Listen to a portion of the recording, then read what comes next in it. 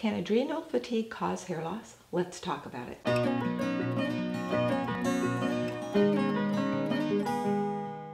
Yes, adrenal fatigue can cause hair loss. Adrenal fatigue is when your adrenal glands are not functioning optimally because they've been over functioning due to a heightened stress response for a long period of time and eventually they get worn out. You're not producing adequate levels of the stress hormone cortisol to optimally run your system.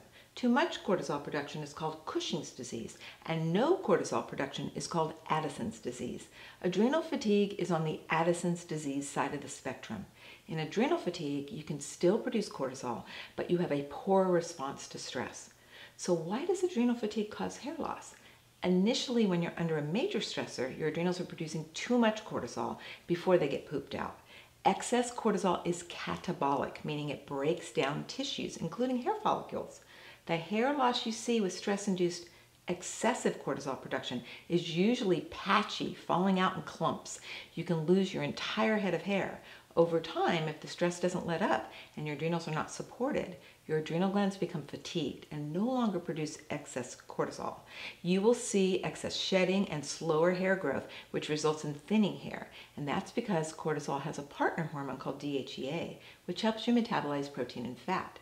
If you don't metabolize protein and fat appropriately, you're not going to be able to grow healthy hair because your adrenal glands are run under the same hypothalamus system that controls your thyroid, your glucose metabolism, as well as your cellular metabolism. Your hair loss can be profound. You'll shed hair more rapidly than you can grow new hair. So how do you get your hair back? First, you need to give your adrenals what they need to heal. I always start with nutraceutical hypothalamic support because if you don't correct the HPA axis, you will not be able to get your adrenals functioning normally. Using Genesis Gold can make a huge difference in treating adrenal fatigue. I also recommend extra adrenal adaptogens, herbs, and glandulars to help your adrenals heal faster, but you must correct the misfiring in the HPA axis with the hypothalamic support. Then, if your hormone production is really low, whether it be your thyroid hormones, your adrenal hormones, or sex hormones, you may need bioidentical hormone replacement therapy to temporarily support adrenal function. You cannot help what life throws at you, but you can change the way you respond to it. Your stress reaction is a learned response, which can be changed through many different modalities. You just have to find the one that works best for you.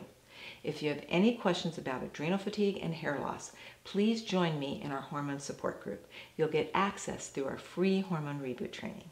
I'll see you in the next video.